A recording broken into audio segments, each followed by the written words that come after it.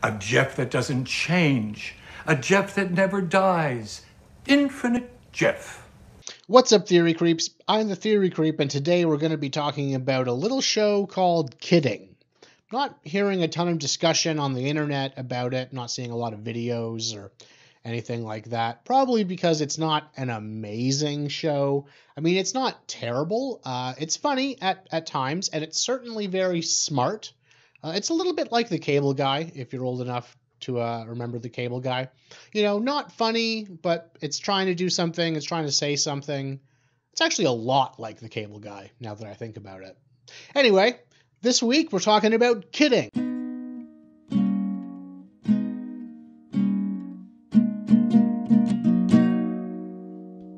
So, Kidding is a show about a man named Jeff Pickles.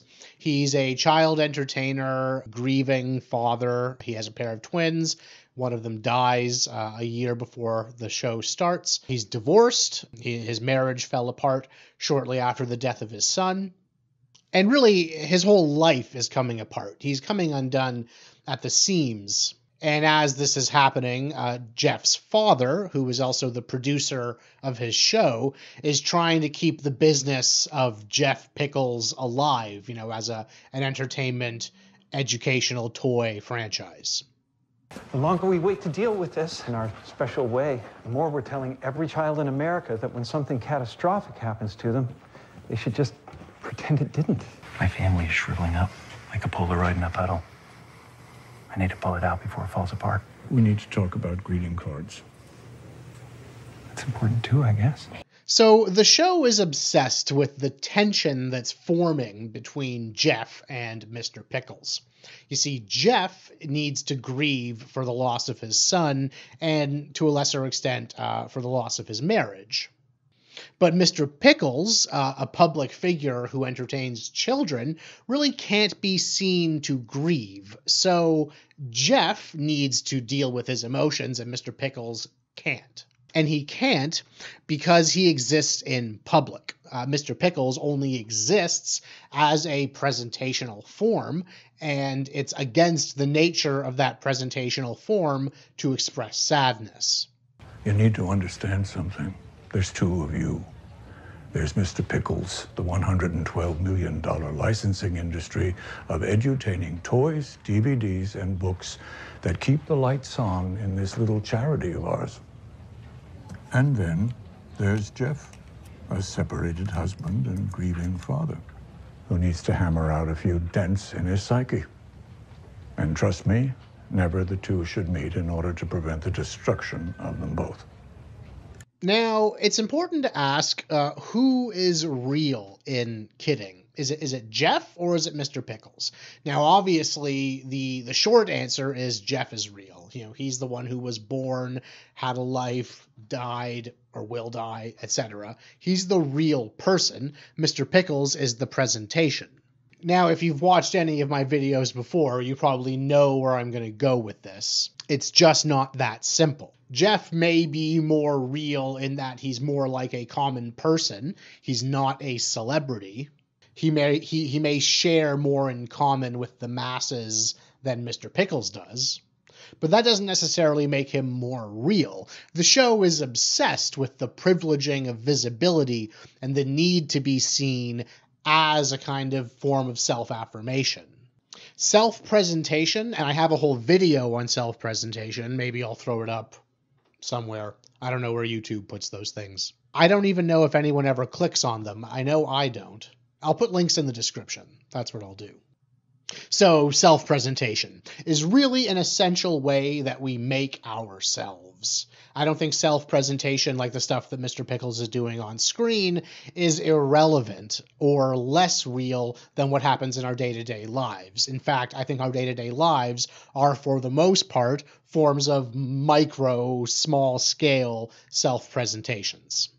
One way that Mr. Pickles is more real than Jeff is that Jeff, for the most part, exists privately. And I don't mean Jeff exists as a private personality the way that we all do. Jeff Pickles, in his day to day life, is Mr. Pickles. He's constantly performing as his onstage persona. And in fact, the rare instances in the show where he does become himself. Uh, he feels really bad about it. He's not proud of who he is. He tries to repress who he is.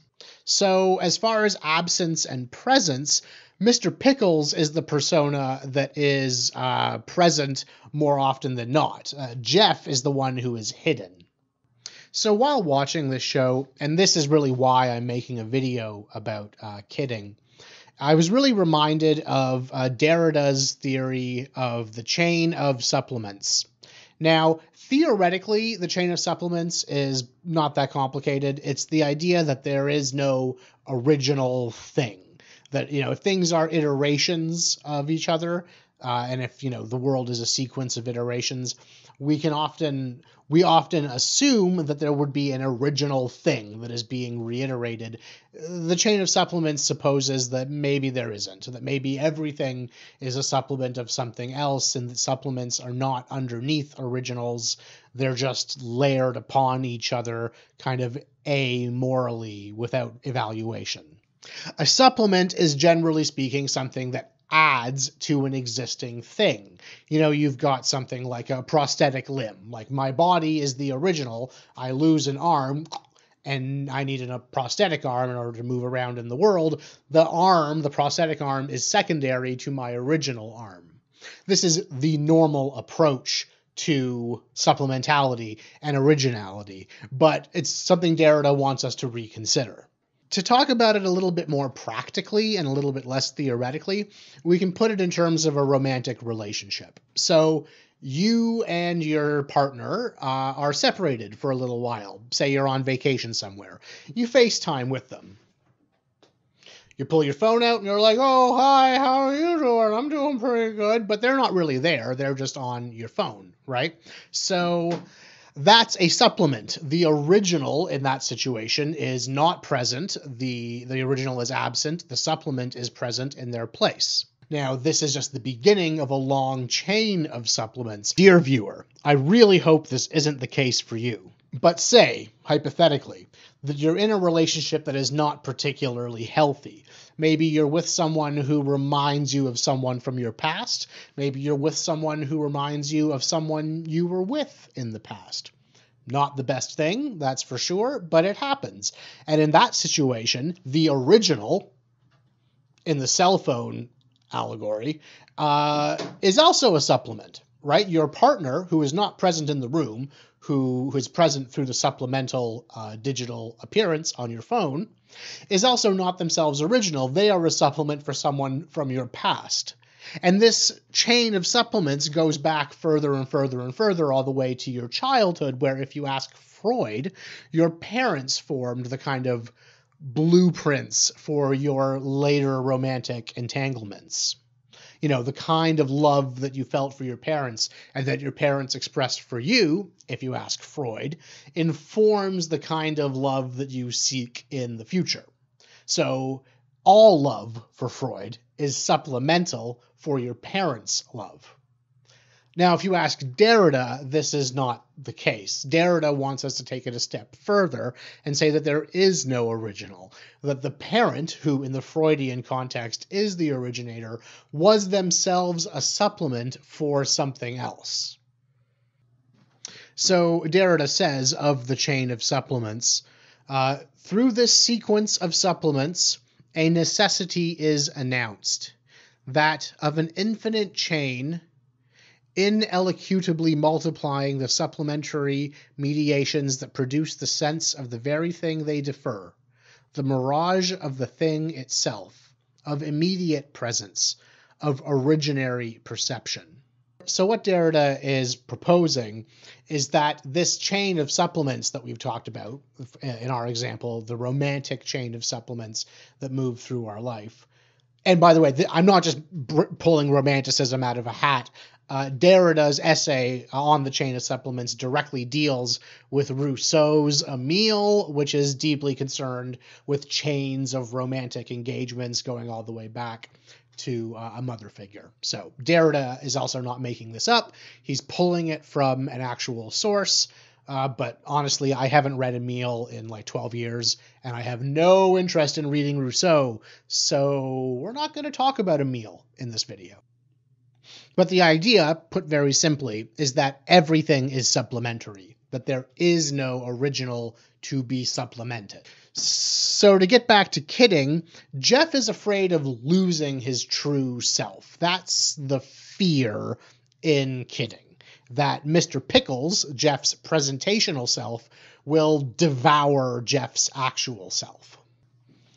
And that certainly seems to be what's happening in Kidding. Uh, Jim Carrey is just being eaten alive in this movie show, in this show.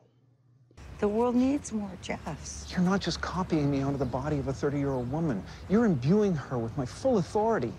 Her actions become my actions, her mistakes, my mistakes, her memories, my memories. But when you, think about it, what's the difference between that and the already internationally licensed versions of the show? In a way, there's already a copy of you in over 20 countries. There's a difference between Mr. Pickleson of Japan or Monsieur Cornichon du France or Herr Gherkin von Deutschland. I don't speak those languages. They wear different colored ties. No child is going to think they're me and I'm them. But Tara Lipinski will be wearing my skin.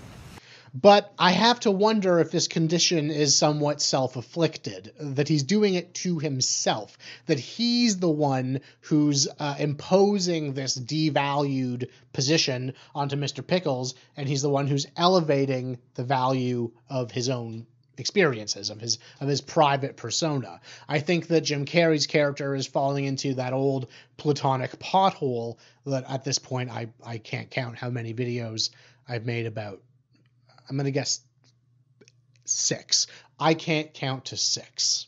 So, as I was saying, Jeff is losing something that he may have never had. The authenticity of his private self, the Jeff over Mr. Pickles, eh, I, I think it's self inflicted, it's self imposed, it's a subjective value. If you look at things objectively, they're, they're both pretty valid identities. Jeff is produced uh, by which I mean Mr. Pickles is produced, and that's why Jeff doesn't like him because he's this fabricated identity, the result of countless people's work.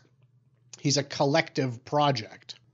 And in our hyper individualist society, the result is that that's less important. The collective is less important than the individual. Jeff is an individual. He's not a collective endeavor, or at least superficially, he's not a collective endeavor. Uh, so as a result, Jeff is more important than Mr. Pickles. But if you actually look at who we are, we are also products of collective circumstances, right? Like our parents and our extended families and our neighbors and our teachers and our friends and the country we live in and the government that's running it at the time. All of these things have tremendous influence on who we are to the point where they make us who we are. So is Jeff really any more individualistic than Mr. Pickles? They were both made by these massive, ununderstandably complicated systems. So, to put it in Derridean terms, Jeff needs Mr. Pickles to be supplementary, but this is the problem with supplements. They don't stay supplementary, they threaten the original with replacement. And once the original has been replaced with a supplement, does the original become supplementary? Does everything become supplementary? If reading must not be content with doubling the text, it cannot legitimately transgress the text towards something other than it, toward a referent, or toward a signified outside of the text, whose content could take place, could have taken place outside of language. Okay, so let's spend a little bit of time talking about this quote. What does Derrida mean when he says doubling the text? Well, Derrida generally uses pretty poetic language. Uh, he's not very direct with his meaning. So, doubling the text, what could he mean by that? Text in general is a kind of doubling, right? If we take speech to be the original form of language, then text is a doubling of language. It's taking speech and it's replacing it. It's replacing it with an alternative. And when he says it cannot, and what does he mean when he says legitimately transgress the text towards something other than it? Towards a referent. Well, this is a little bit more simple. What he's saying is that text or language, as text has replaced speech in his model, uh, there is no referent outside of text. Just like how there is no original to be supplemented, there's no original body to have a prosthetic limb inserted onto it. There's no original thing that language is signifying. When I say cow or bunny, there is no original cow or bunny that is somehow above the linguistic signifier for cow or bunny. The cow or bunny is also a supplement in and of itself. There's no originality that rests on top of supplementality. Pickles on Ice, starring Tara Lipinski as Jeff Pickles on ice. He's going to break us. That's why we have to train the market. Ice Pickles, the doll, the cartoon, the seamless vertical integration of a man we both love. Like Derrida, Kidding is also obsessed with repetition. Jeff is repeated ad infinitum. You know, you've got the uh, the Jeff on Ice or the Mr. Pickles on Ice. You've got the Mr. Pickles talking doll. You've got the animated Mr. Pickles show. You've got the international syndications for Mr. Pickles. There's so many Mr. Pickleses that it's hard to determine uh, who the original is or if there even is an original. And I think this is why Jeff is so threatened because in his mind, he's the original. He can't see himself as being intertwined with these representations of himself. It would be like if I, sitting in this room looking at myself on this screen, said, No, this is the real me. That thing on the screen, even though it's doing everything I'm doing and looks exactly like me, has nothing to do with me whatsoever. I am pretty comfortable saying that me in this room and me on my screen and me in the semiconductors in my camera and me on your screen, wherever you're watching this, are all kind of the same thing. I don't need to be tied up in myself. I can mix with the things around me. Jeff doesn't seem to have that ability. So to go back to Rousseau, who I swore to myself I wouldn't mention again in this video, um, Rousseau calls writing the dangerous supplement, which of course Derrida just goes apeshit for. But Jeff, I think, would also consider Mr. Pickles a dangerous supplement. Jeff is threatened by Mr. Pickles and the kind of constant reiteration of himself on screen or in, in any media puppets, dolls, animation, uh, figure skaters, what have you. So Derrida says of the dangerous supplement what one calls the real life of these existences, of flesh and bone, beyond and behind what one believes can be circumscribed as text. So, what he's saying, I'll just break this quote up into a few sections so I can describe it as we go through it. What he's saying here is that we tend to think that flesh and bone, that materiality, are outside of text, and therefore text is repeating flesh and bone. Flesh text is repeating materiality, and therefore text is lesser than materiality. But, Derrida says, there has never been anything but writing. There have never been anything but supplements.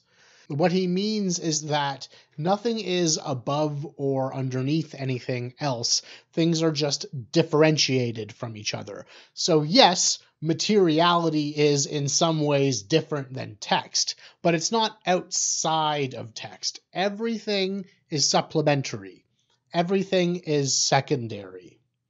Not to say that everything is egalitarian and everything is smooth and identical, just that things are on an even playing field and aren't elevated above one another. So, to, to use kidding as an example, Jeff wants to be on top of all the iterations of Mr. Pickles that flood his life.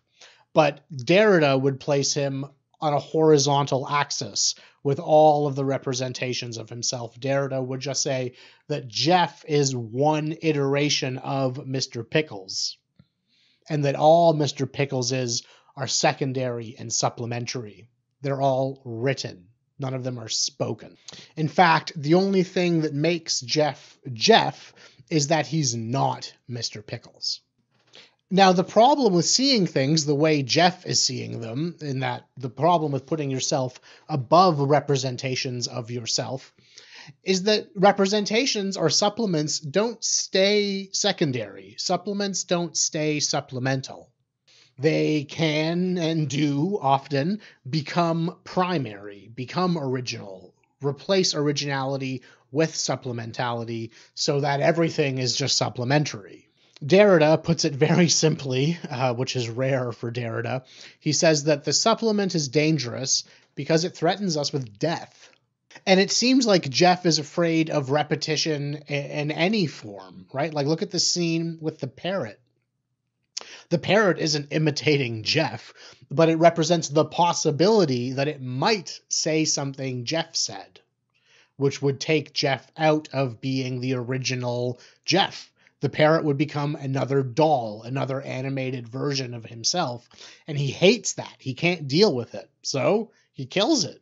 Now, as the gap between Jeff and Mr. Pickles grows, Jeff becomes more and more violent. That parrot murder is just one example of many kind of violent outbursts that he has.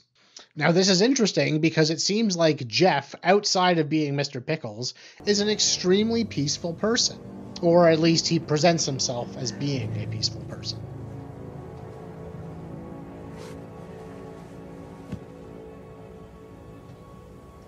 Have you ever seen the movie Robocop? Maybe. It's about a police officer that dies in the line of duty. His buddies rebuild him like a robot so they can control him. But it just gets way more violent. But now that Mr. Pickles uh, is not able to grieve the way that Jeff needs him to, Jeff has to identify himself. He has to counter identify with Mr. Pickles. He has to differentiate himself from Mr. Pickles. And the way he seems to choose to do that is through violence. Which makes perfect sense, right? Like, Mr. Pickles would never do anything violent. So if Jeff wants to be his own man, wants to not be Mr. Pickles, well, all he has to do is be violent. To put it simply, Jeff was a peaceful man, Mr. Pickles is a peaceful man. So Jeff is supplementing himself with anger. He's Jeff, but things aren't working for him. He's too much like Mr. Pickles. So how can he be different than Mr. Pickles? Well, he starts behaving violently. Mr. Pickles would never behave violently.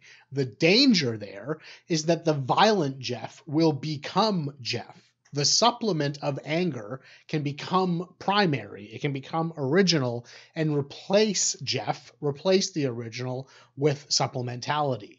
So Jeff is becoming other from himself. He's peaceful, he's becoming angry in order to become himself, in order to differentiate himself from that which threatens to consume him. And this isn't the first time that a supplement has taken over Jeff's life, right? See, that we're talking about anger right now, but in the past, before there was a Mr. Pickles, Jeff was Jeff, and then he supplemented that self with Mr. Pickles, and that supplement consumed him. So, in kidding, supplements and replacements eat originals constantly. And this is what Derrida means when he says a chain of supplements. Each supplement replaces the original there are no originals if you go far enough back. It's just supplements all the way down. So we could watch Kidding and we could read it as a sad story. We could look at our lives and say that they're tragic and devoid of any kind of greater meaning. But the truth is, supplementality and secondary representationality, it's not that bad it's what we have anyway. Like the alternative, the meaningful, individualistic kind of approach to things, it's an illusion.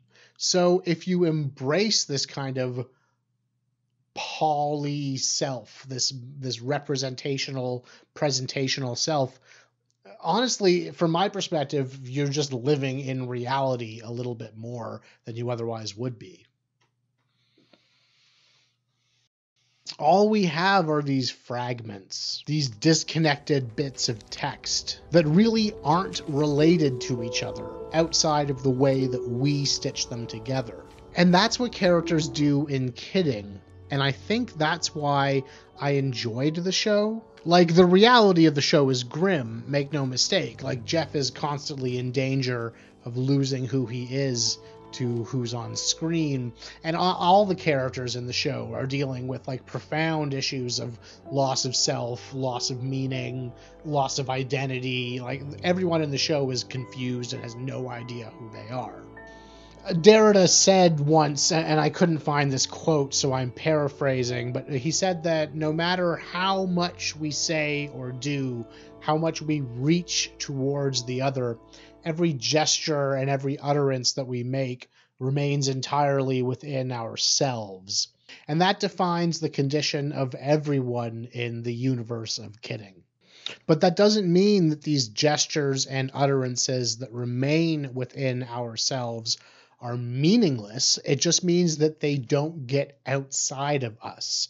The same way that nothing gets outside of writing, that everything is supplementary and everything is textual.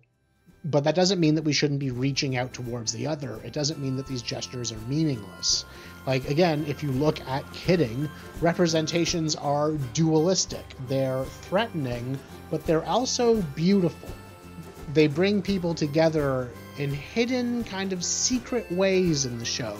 Like, overtly, Kidding is all about the danger of representation and the danger of repetition. But there's a subtext in the show that Mr. Pickles is actually making the world a much, much better place. This, for example, what if a kid watched this, put a barrel on, attached a bedsheet to it, and tried to parachute over Niagara Falls? Chances would not be good. So I don't know. I don't really have a super coherent message about what you should think about kidding. I just thought that it represented a lot of really interesting post structural themes. And also, it represented the postmodern condition in like a, a really uh, realistic but also heartfelt way. I don't know. I enjoyed it. Like I said at the beginning, not an amazing show, not hilarious. Uh, like the cable guy, you know, like it's dealing with like uh, modern media themes in kind of dark humor ways that are really more dark and dramatic than they are humorous. Anyway, if you haven't seen Kidding, you should check it out. Uh, I didn't really give away that many spoilers, I don't think. Uh, hopefully, uh, I should have. I didn't say no spoilers at the beginning of this video. Anyway, deal with it. Theory creep out.